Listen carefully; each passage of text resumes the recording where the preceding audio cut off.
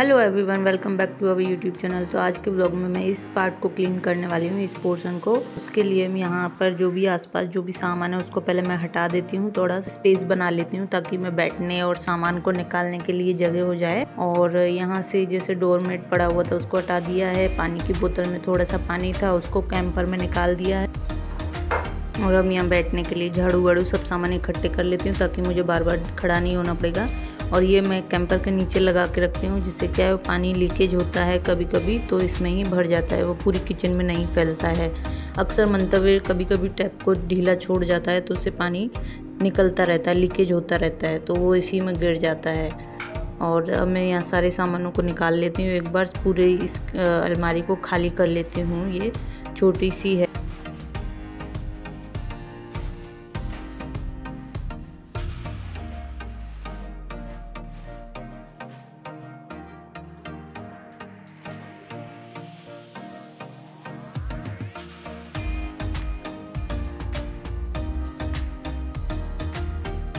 यहाँ अचार था जो मम्मी ने मुझे दिया था तो उसको मैं चेक कर रही थी क्योंकि पहले लाई लाई थी, उसके कुछ दिन बाद ही इसमें ऊपर ऊपर जो मतलब डूबा नहीं रहता है ना, उस अचार में फफूंद सी लग गई थी।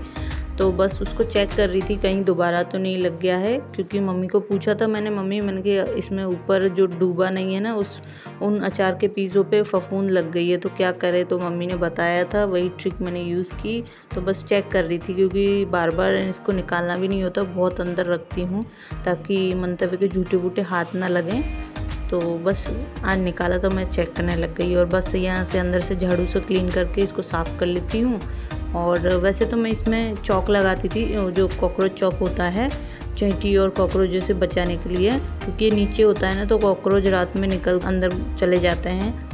तो मैं कॉकरोच चौक की वजह से वैसे तो कॉकरोच या कुछ कीड़ा मकोड़ा ऐसा नहीं दिखा है इसमें, लेकिन अब मैं इसमें फ़िनाइल का पोछा लगाने वाली हूँ। जैसे मैं पानी बहुत कम ले लिया है, फ़िनाइल थोड़ा ज़्यादा डाल दिया है क्वांटिटी में, उससे क्या स्मेल रहेगा तो इसमें कीड़े मकोड़े बिल्कुल भी नहीं आएँगे।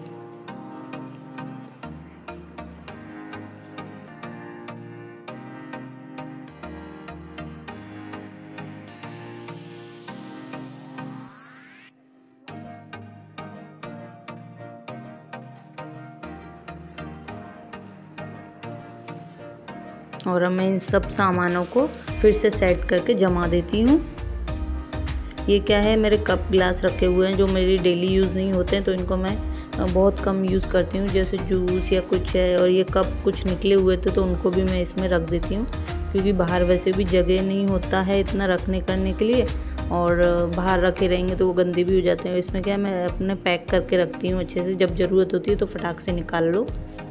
और यहाँ मैंने ये जो जियो मार्ट का जो बॉक्स आते हैं ना कार्टून वाले आ, उस उनको फोल्ड करके छोटे पीस में फोल्ड करके इसी को मतलब डबल फोल्ड हो गया है तो ये मज़बूत से हो जाते हैं और इसी में मैं सामानों को रख देती हूँ। एक रैक का सा काम करते हैं फिर ये जैसे मतलब स्लाइड करके आगे सरका और फिर इसमें सब सामान ले सकते हैं। या फिर क्या होता है कि इस पूरे बॉक्स को निकाल कर नीचे रख लो और आराम से देख लो।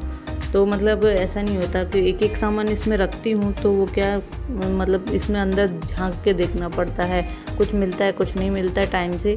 तो इसमें क्या है स्लाइड करके बाहर निकाल लो और फटाक से अपना जो सामान चाहिए वो निकालो और फिर स्लाइड करके रख दो। तो ये बहुत आसानी और बहुत ही मुझे यूज़फुल लगा ये आइडिया तो इसी को मैं इस्तेमाल करती हूँ। अभी ये जो दालें हैं, इन सबको मैं एक अलग बॉक्स में रखने वाली हूँ। दालों को सबको, क्योंकि सब तरह की दालें हैं, मूंग की, मसूर की, चने की, अरहर की और चावल को मैं इन एक बॉक्स में रखने वाली हूँ, ताकि क्या होता है कि दालों को ढूँढने के लिए इधर उधर ढूंढना पड़ता है, मिलती भी नहीं है कभी कभी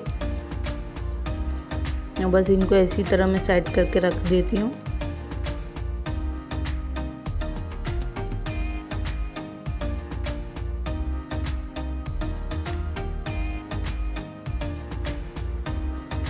और ये कुछ मंतव्य मैक्रोनी और पास्ता लेके आया था तो उनको मैं एक साइड में रख देती हूँ ताकि मंतव्य के हिसाब से मैं बनाती रहूँगी क्योंकि मेरे जो सामान है उनको मैं एक साइड कर रही हूँ।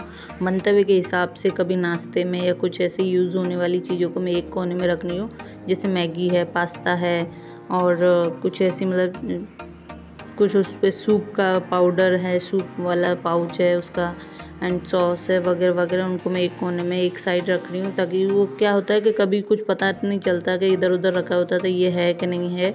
तो ऐसी चीज़ों को मैं अब एक जगह रख कर तो इससे क्या है कि पता रहता है कि ये है, ये नहीं है। और कभी बनाना भी होता है तो एक जगह दिख जाते हैं तो फिर अपन आराम से देख सकते हैं कि ये बनाए कि वो बनाएँ।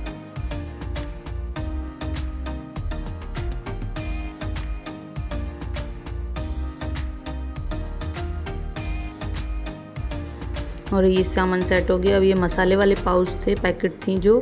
उनको मैं किचन के पास मतलब उस साइड रखने वाली हूँ, जहाँ मसालों को सेट करके रखूँगी।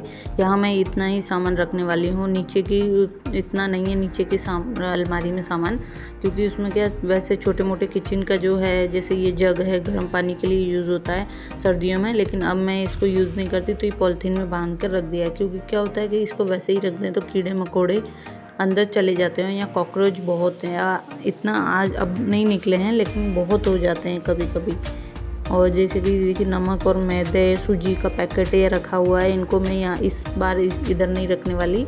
मैं दूसरी साइड, दूसरी अलमारी है, उधर रखने वाली। हूँ क्योंकि मैदा, बेसन, ये सब चीज़ें क्या इधर उधर रखी होती हैं तो इधर से उधर देखना पड़ता है। और एक जगह रखी होंगी तो फिर अपन को इतना ढूंढना भी नहीं पड़ेगा। तो इसलिए मैं इधर सिर्फ़ दालों को, चावल को और मैक्रोनी पास्ता जैसी चीज़ों को और ऑयल वगैरह है, इन्हीं को रखूँगी। मसालों को और बेसन, मैदा जैसी चीज़ों को मैं दूसरी अलमारी में रखूँगी। तो इस, इधर मैं इनको नहीं रखूँगी। और अब नीचे से भी क्लीन हो गया है तो मैं इसको भी पोछा लगा देती हूँ फिनाइल वाले पानी से ही।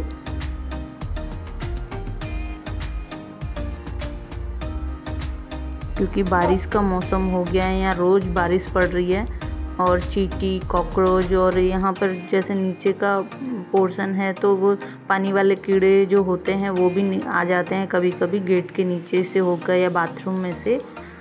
कीड़े मकोड़े के लिए ये वाली फिनाइल अच्छी रहती है। इससे क्या है, चींटी, कॉकरोच, और ज़्यादा से ज़्यादा ज़्यादा हद तक कीड़े मकोड़े घर में नहीं रहते हैं। और ये थोड़ी इसकी जो चौखट थी ना, ये भी थोड़ी गंदी सी हो रही थी तो इनको भी मैं पोछे की हेल्प से क्लीन कर लेती हूँ। तो गंदी सी मैल सा लग रहा था, गीले कपड़े से फटाफट पुछ रहा है।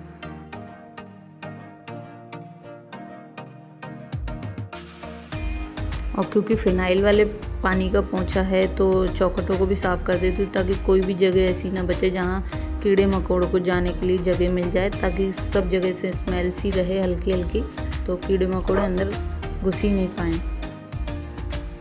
अभी नमक और मैदा जैसी सूजी और इन सब चीज़ों को मैं अलग रखने वाली हूँ क्योंकि ये बॉक्स मैं इसके लिए इस्तेमाल करती थी। अब मैं इसमें जग और ये ये जो है, इनको मैं इसमें रखने वाली हूँ ताकि कभी ज़रूरत पड़े तो स्लाइड करके फिर बाहर निकाल लो, फटाक से ले लो।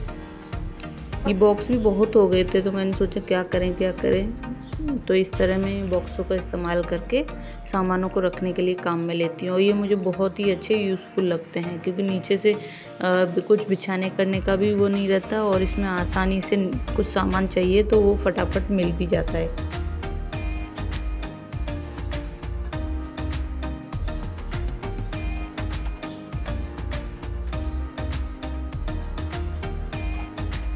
ये जैसे ब्रेड सेकने वाला है एंड ये क्रश करने वाला है, गुंजिया बनाने वाली मशीन सी है। तो ये मेरे रेगुलर काम नहीं आते तो छोटी मोटी चीज़ों को मैं इस तरह इसमें डाल दूँगी। और ये शॉपी से मैंने वो मंगाए थे। पैकेट को जैसे हम लोग किसी डब्बा वब्बा नहीं होता तो पैकेट को कीड़े मकोड़े जाने से अपने जा नहीं पाए। तो उसके लिए ये पैक करने के लिए चिमटी सी थी। तो मुझे बहुत यूज़ हो रही हैं ये जैसे कभी कभी डब्बा इतना नहीं हो पाता है तो पैकेट में ही मैं सामानों को, जैसे कुछ मैदा है, बेसन है इनको मैं पैकेटों में लेके पैकेटों कभी कभी ऊपर भी रह जाता है तो क्या कुछ इधर उधर नहीं रखना पड़ता। और उसका क्या है, उसको पैक करके चिमटियों का यूज़ करके उसको ऊपर से लगा दो तो कीड़े मकोड़े भी नहीं जाते, वो एयर टाइट भी रहती हैं।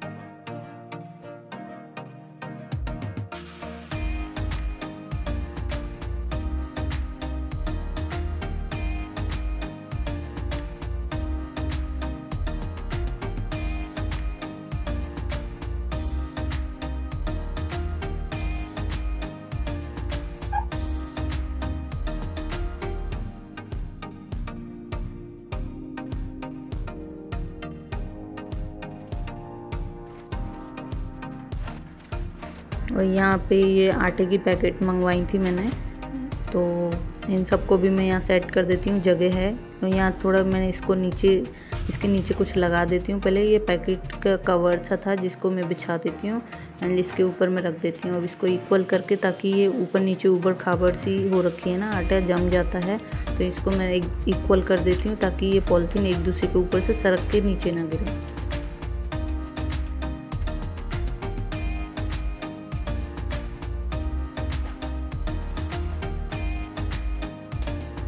और ये कुछ मेरे जब प्रसाद या कुछ मैं खाना पीना बनाती हूँ तो आंटी को देने करने के लिए दोना दोना और मतलब डिस्पोज़ल है इसमें प्लेट है डिस्पोज़ल वाला ग्लास डिस्पोज़ल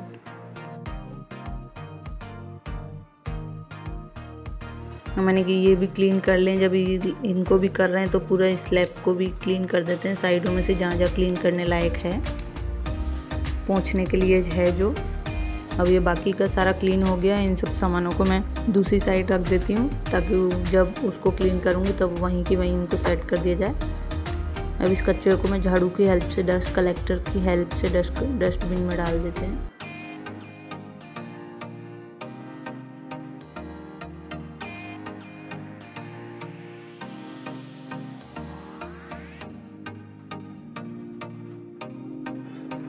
और अब ये सब क्लीन हो चुका है तो चलिए मिलते हैं नेक्स्ट वीडियो में। अच्छा लगे तो लाइक कीजिएगा शेयर कीजिएगा सब्सक्राइब ज़रूर कीजिएगा।